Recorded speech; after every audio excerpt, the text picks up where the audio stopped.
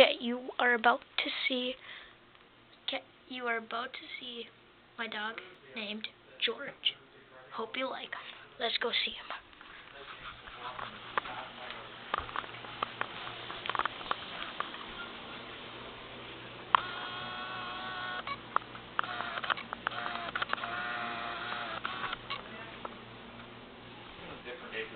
George.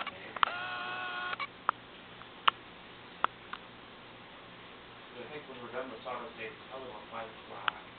How we get there on the one. Have their stuff in there.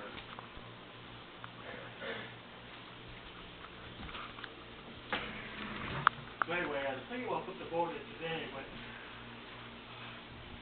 I'm a little under a half a tank, so I probably have enough to just cut it off. George. Hey, George.